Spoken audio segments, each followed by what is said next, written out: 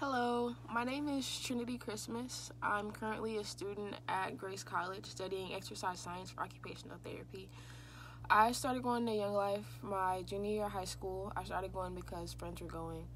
Um, through Young Life, I've learned that God will always be there for you. He'll always have your back no matter what. I also learned that He has unconditional love. Through Young Life, I've been taught the importance of building connections, and I'm currently in the process of learning what it takes to be a leader.